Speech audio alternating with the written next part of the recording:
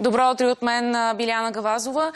Днес ще говорим за така нареченото модерно робство, което стана актуална тема през последната една седмица. В ефира на BTV ви разказахме и за много случаи, включително и наши колеги, които бяха на място, ви дадоха примери и конкретно от Англия. Знаете, емблематична стана фермата Корнуел в Англия. Тя беше наречена ферма на ужасите. Има ли ферми на ужаси не само в Англия, в различни държави в Европейския съюз, в които много българи, десетки, може би хиляди българи отиват да работят всяка, всяка година. За това ще говорим днес. Ще говорим за правилата, които трябва да спазваме тогава, когато ам, решаваме да пътуваме в чужбина и да търсим препитание там. Ще говорим с главна инспекция по труда, с президента на КНСБ Пламен Димитров, който е тук при нас, за сигналите, които са получавали, за капаните, в които можем да попаднем, за схемите, за нашите права и разбира се за какво трябва да внимаваме. Първо обаче малко статистика, която ни беше предоставена от главната инспекция по труда. Всъщност регистрацията на фирмите се извършва от агенцията по заетостта, но контролът за това доколко се спазват трудовите правоотношения е именно към тях. Сигналите за нарушения при работа в чужбина най-често се отнасят до следните страни в Европа. Полша, Чехия, Словакия, Австрия, Германия, Белгия, Франция. Поне такива са данните от страна на главната инспекция по труда, но пък видяхме, че и в Англия има много сериозни проблеми. Ще ви дадем и примери малко по-късно в предаването. И още, кога обаче трябва да имаме изострено внимание? Кога може да става въпрос за измама? Тогава, когато имаме само онлайн комуникация, когато имаме отказ от лична среща, а ние сме поискали такава, или има искане на пари без документи. И още неща, които могат да ни подскажат наредност, искане на пари, на пари по а, интернет, без трудов договор с работодател. Това е изключително важно, тъй като все пак, ако има проблем, именно трудовия договор е този, който може да ви гарантира по някакъв начин а, възможност за търсене на правата. И още нещо важно, трудовия, трудовия договор да е на чужд език, т.е. Вие може да получите трудов договор, но той да е само на чужд език и съответно да не разбирате какво подписвате. И още, за какво най-често обаче са сигнализирани а, контролните институции тук в България? Най-често за това, че заплащането е било твърде ниско. И още, а, без допълнителни възнаграждения, които са били обещани, понякога фирмите посредници обещават и осигуряване на подслон, не плащане на квартира, но това не се случва. И без заплащане за извънреден труд. Това е, може би, най-масовата практика или най-масовото нарушение. А сега, Маргарита Стефанова ще ни срещне с българи, които се оплакват от условията на труд и, забележете, унизително отношение в фабрика за месо в Германия, тъй като разбрахме, че случаите с неприятни изненади за нашите сънародници не са само в Англия. Чуйте историите. Преди няколко месеца, чрез познатия Анатолий от Кнежа започва работа в кланница за разфасоване на свинско месо в град Реда, Виденбрюк. Фабриката е пренаета и се управлява от подизпълнители поляци. Нито знаеш каквото, какво подписваш, нито нищо. Не ти ли превеждат? Не. Остават ти документите, сигурно около 30 листа са. Почваш да ги подписваш, на следващия ден отиваш, минаваш медицински прегледи и почваш работа. Обучение няма ли? Няма обучение. Дали заради липсата на обучение, но още в началото мъжът пострадал на работното място. Аз на десетия ден порязах с един нож, поисках да си остана, нали, да ида на болница. Той ми казва, няма да ходиш на никаква болница, отиваш да работиш, ако нещо ти стане с ръката, ще ги отрешат и си тръгва за България. На работното място пострадал и се наложил успешно да бъде опериран от херния и колега на Анатолий.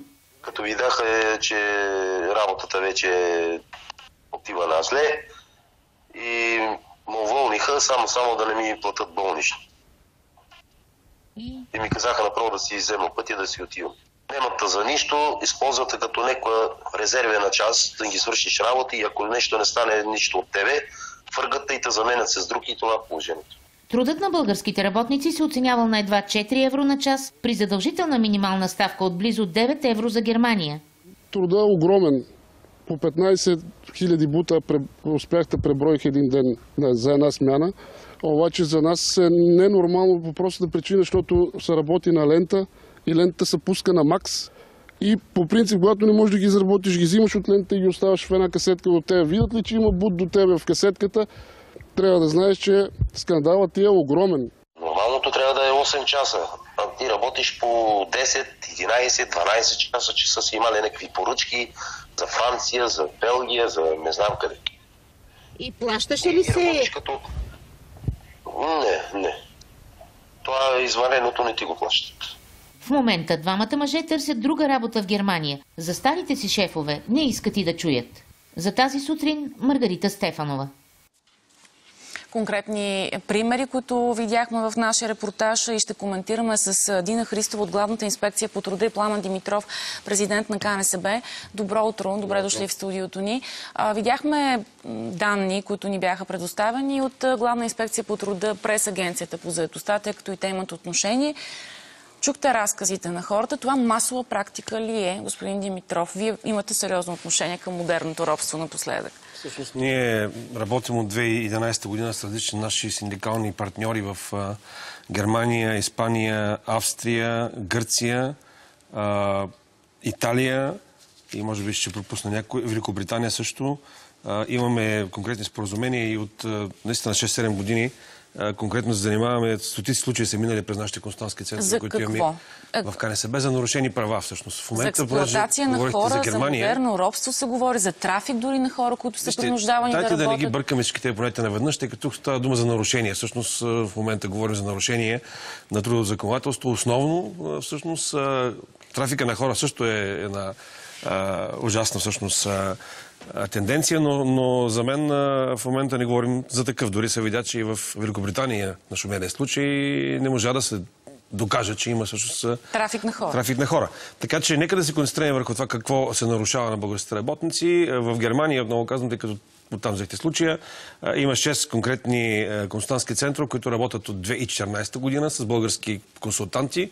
Във, всеки, във, във всяка провинция има по един. В Берлин, в Дортмунд, в Мюнхен, в Франкфурт, в Хамбург и в, а, в а, Штутгарт. Това са, са местни центъри на немските синдикати и нас, всъщност, ви- които на место всъщност сигнализират хората в момента имат различни, различни проблеми.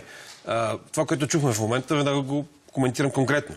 Това е един от малкото случаи в Германия, в който бранша на кланниците, на тези, които се занимават с а, производството на месо, да кажем така, е изключен от а, общия колективен трудов договор. Тоест а, имат право на, дерогация от а, 9 евро на Какво час, които означава са това, минимални. простичко казано? Ами, това е възможното всъщност да плащат по 4 евро, както каза човека. Да ги но това е ощетява. до края на настоящата година, от 2019 година. И този бранш, както и в строителството в момента се плаща 11,75 на час минимална, минимална ставка.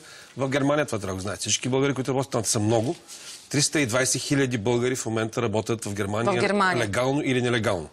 Легално се далеч по-малко, но това са толкова, толкова хора живеят там и прибивават, повечето от тях работят. Така, към Главна инспекция на труда и към Дина Христова да поговорим за измамите, тъй като очевидно има проблем. А, какво показват вашите проверки през последните няколко дни, през последната седмица, откакто избухна скандала? А, сега, много правилно казахте измамите. В повечето случаи, в които се стига до някакъв такъв много сериозен конфликт, скандал, говорим наистина за измама. Говорим за хора, които казват аз тръгнах чрез познати. Тоест няма фирма, няма кого да проверим Чакайте ние. сега. Има и фирми посредници, ще видим, които са с отнети лицензии. Сега ще помоля колегите обаче е. да пуснат графиката. А, за работа в чужбина има близо м, 380 фирми посредници, които са регистрирани.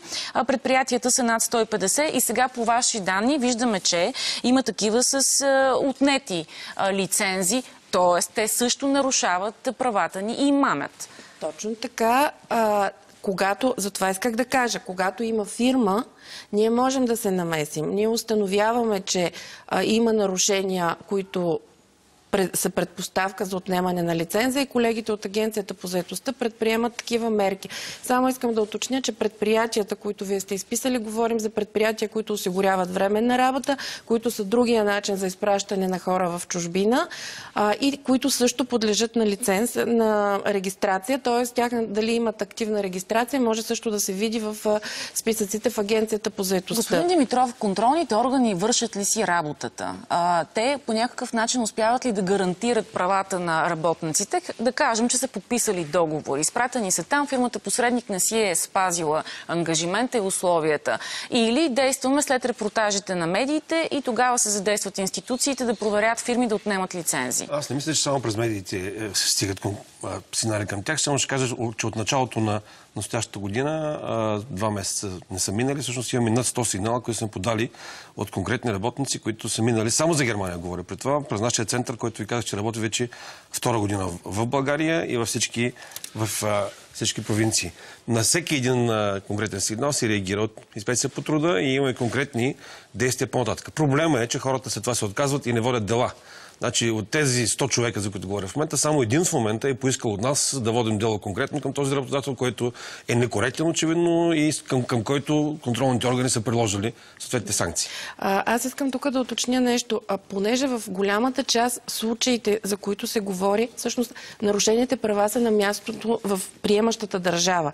Тоест, ние, ако има български работодател, ние отиваме, проверяваме го. Ако това е фирма посредник, съответно и има нарушения, които които са основания за отнемане на лиценза, се предприемат съответните мерки, но разбира се става въпрос да се състави акта, той да влезе в сила наказателното постановление и след това, така че това е една процедура. Но за, на място, за нарушените им права на място, това, което ние можем да направим и правим, е да информираме местните контролни органи, за да започнат те проверка. Проблемът, който, пред който ние се изправяме, че в нередки случаи хората там дори не знаят за кого работят.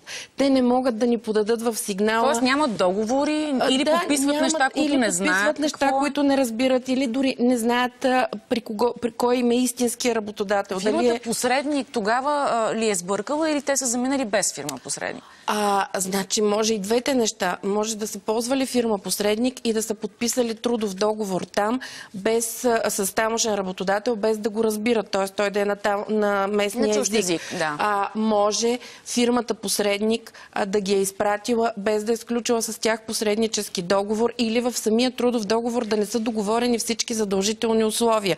Те са разписани в съответните наредби, няма смисъл да ги цитираме на сайта на инспекцията, има и съобщения, от които могат да ги В видят. продължение ще продължим, господин Димитров. Предлагам ви обаче да изгледаме един друг репортаж, който също ще ни даде много добър пункт за, за разговора след това. Десетки оплаквания на година получават редица посреднически фирми, както вече стана ясно. Как се решават проблемите, каква е процедурата за кандидатстване и какви права имат наетите работници, разказва Марияна Трифонова. Мирослав Тончев се занимава с посредническа дейност от 20 години. Има сключен договор с английска фирма, която набира работници за ферми на острова. Хиляди наши сънародници са опитали късмета си в чужбина. Обсъждаме с тях къде отиват, какво искат да правят и при възможност от наша страна им предлагаме работна оферта. Преди три години на интервю за работа идва и този млад мъж. Става въпрос за земеделска работа, земеделски труд. Сега Петър е на 25 години и подготвя третото си заминаване за работа във ферма. но към условия на живот, в смисъл са добри. Един всяка седмица изискват и поддръжка на каравани от нас, нали? проверява се, което евентуално ако така не е чисто, се предупреждава или може да се губи, нали?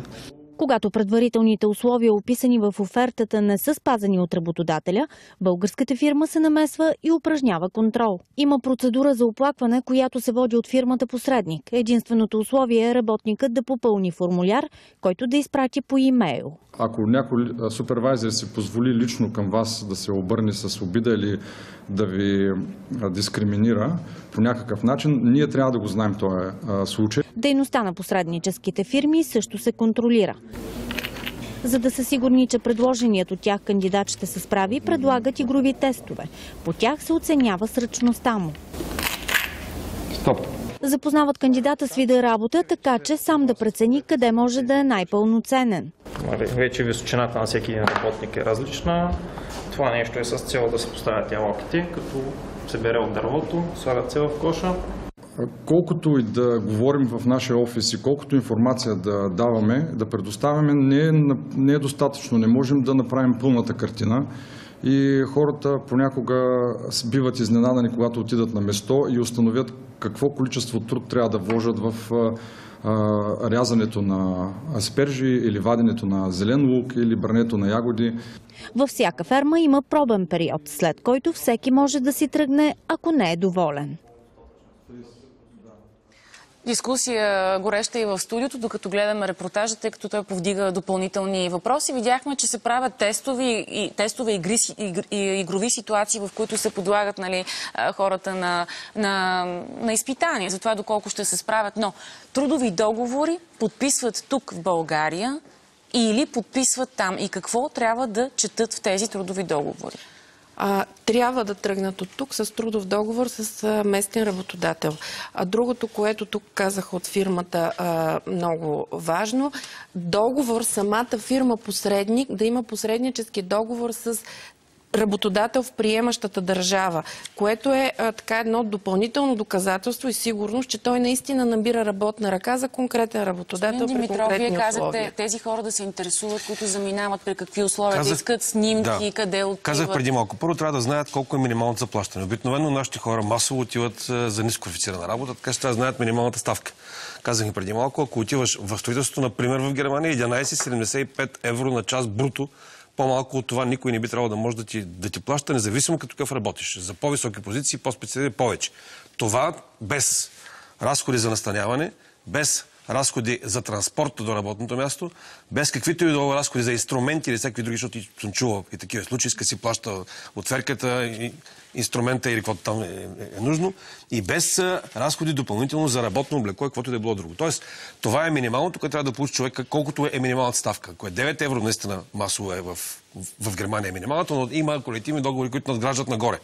Второ, никакви пари не би трябвало да плаща човека, като заминава на фирмата посредник. Независимо каква е тя. Никакви. Нула лева. Нула. Независимо Нула, кой какво говори. Това е забранено с международни конвенции, европейски директиви, българското законодателство го забранява категорично. Така че това е категорично така. Следващото, кое, което трябва да има човек е яснота къде отива точно. Тоест да поиска и да види условията за настаняване отговарят на неговия стандарт на живот. Тъй като хората са различни, казах мисля тук с вас. Един живее в по-прилични условия, друг е, е свитно и малко по- е, лоши да- условия, да са живее вкъщи с туалетна навън, да речем, в двора. Да, Хора различни. са различни. Аз имам Той трябва да прецени и да види. на финала, тъй като наистина вървим към финал. Кратичко да кажем, ако имаме ситуация, изпаднали сме в немилост, както се казва, и трябва спешно да потърсим помощ, искаме да сигнализираме български институции, как можем да го направим и на какво време можем да разчитаме като реакция? Значи, а, нека уточним. Ако искаме бърза реакция, най-бързата е да сигнализираме тамошните органи. Там най-бърза реакция могат да дадат местната полиция, местните органи, а, нали, българско посолство. Разбира се, могат да сигнализират в инспекцията по труда, но ние можем да действаме в България. Каквото и да правим ние, ние ще го изпратим там за реакция. Така че нека да тръгват и наистина с достатъчно много контакти и координати. А, за, към хора, към институции, които могат да им помогнат. Аз искам да ви кажа какво направи инспекцията по труда в един подобен случай, който е изключително показателен. Добре, накратко. А, Знае се, разбира се, че ще се заминава група в рамките на една серия от измами. Отива се на място на автогарата. Инспектор сутринта казва на хората, които заминават, ще бъдете измамени. Вие сте третата, четвъртата група. Предишните всички са зарязани на автогарата на една автогара. 5-6 човека се отказаха да заминат. Имаше един млад господин, който каза, добре, и все пак, ако ние заминем и там няма работа за нас, какво ще направи държавата за нас? Е, нищо не може да направи. Няма, а, знае се, че никой не може да ни опази по-добре от нас. Добре, т.е. това е въпрос на наша лична, лична отговорност. трудов договор на разбираем език, споразумение с местен работодател, европейска здравна карта, образец за това, че си осигурен. Това са минималните неща, които трябва да имаш в джоба си преди да заминиш, да си сигурен къде отиваш, при какви условия ще работиш, колко ще ти плащат и по какъв начин ще се върнеш обратно. Искам- Поне това трябва да това, си са, това са основните Договора неща, да го които... разбират обаче, Договора да нали? го разбират, да. Да. го четат, да е на български. Да. Много ви благодаря за тези полезни съвети, които надявам се са стигнали до, до хората, които имат интерес да работят в чужбина. А пък ако имат сигнали за нарушения, могат да ни пишат на чети долна черта етикета кломба btv.bg. Останете с тази сутрин.